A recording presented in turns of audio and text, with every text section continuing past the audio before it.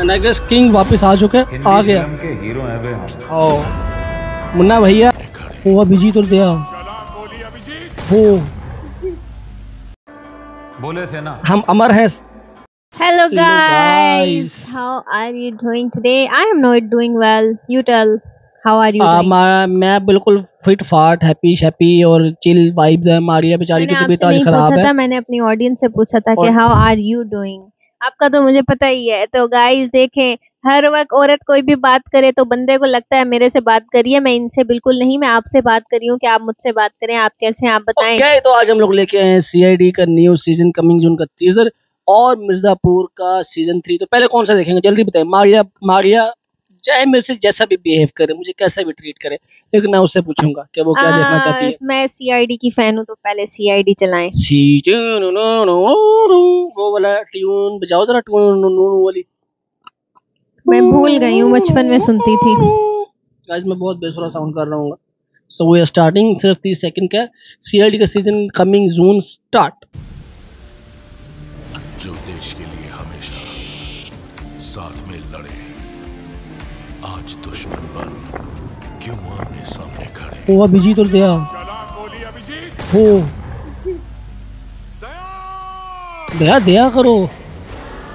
What happened to Daya? उनकी कहानी अभी बाकी है। जिनका बस नाम ही काफ़ी है।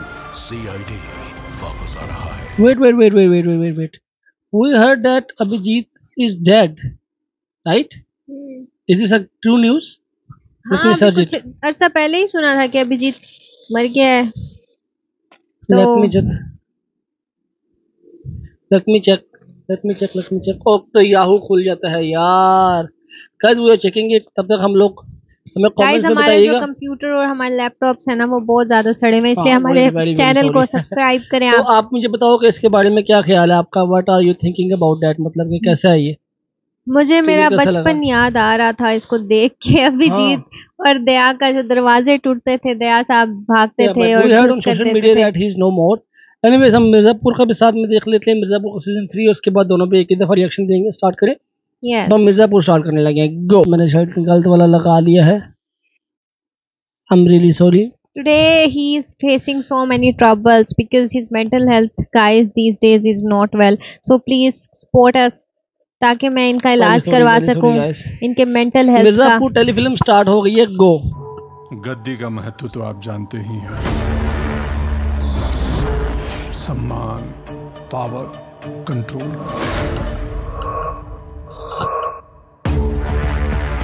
आपने भी मिर्जापुर अपनी अपनी गद्दी पर बैठ के देखी होगी। पर इस बार गद्दी से नहीं उठे तो रिस्क है। सही बोले कालीन भैया।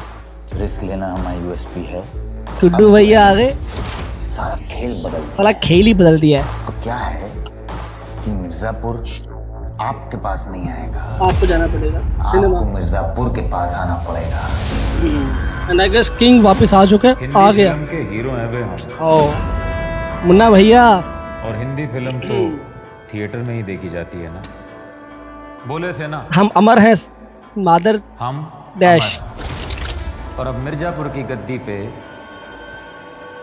यहीं से बैठ के राज अरे- हम अमर हैं। यार तो तेज है ना भाई कंपाउंडर कंपाउंडर फ़र्स्ट शो से लास्ट शो तक मुन्ना भैया। अब भौकाल भी बड़ा होगा और पर्दा भी।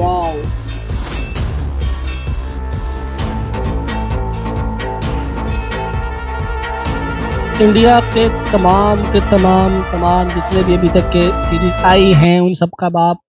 अब ये मूवी इंडस्ट्री में आ रहे हैं और मैंने जहाँ तक न्यूज़ सुनी है मारिया तो ये है कि ये जो तीनों एक्टर्स हैं जो कि मूवी की जो कि सीज़न की मतलब वो थे मतलब मेन कास्ट थे।